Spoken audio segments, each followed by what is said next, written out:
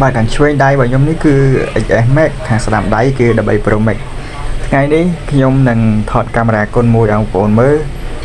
គាត់សាកកាមេរ៉ាលេងទេប្រៀបធៀបនេះលេងទេព្រោះគាត់ដឹងថាមួយសេរីខ្ពស់មួយសេរីទាបអីចឹងណាតែគាត់ថតលេងទេបាទគុំបកកែប្រកាន់ហើយបើមើលជាក់ស្ដែងទៅកាមេរ៉ាគុណមួយ XS Max ហើយនឹង13 Pro Max ខ្ញុំមើលយូរយូរទៅ XS Max ច្បាស់ជាងនេះបាទជាក់ស្ដែងមើលបងប្អូន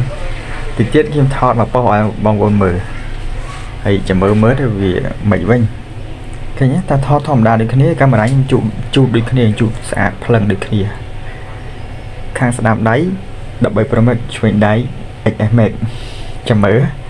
ខ្ញុំថតនៅប៉ុសហើយខ្ញុំខ្ញុំស៊ូមឲ្យមើល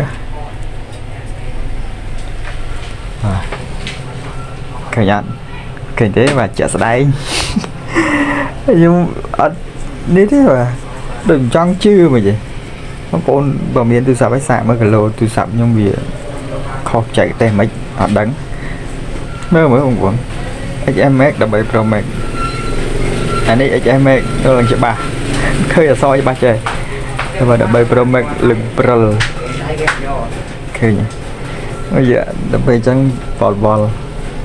ដូចអត់ចង់ជឿហឹម អឺ